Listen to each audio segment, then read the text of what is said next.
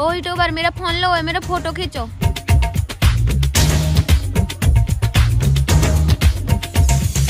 जल्दी खींचो।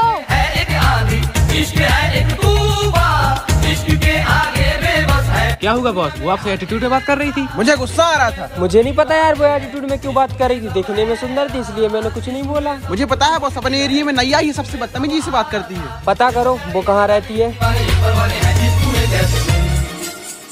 बॉस पता चला कि अपनी सोसाइटी की रहने वाली है क्या बात कर रहे हो सच में हाँ, बॉस। चलो हो गया है कैसा ये बॉस वो रही क्या कहे तुमसे चलो। दिल का है जो हाल आप यहाँ उस दिन आप मेरे साथ उस दिन मैंने आपसे रूडली बात किया था ना इसलिए सॉरी बोलने आई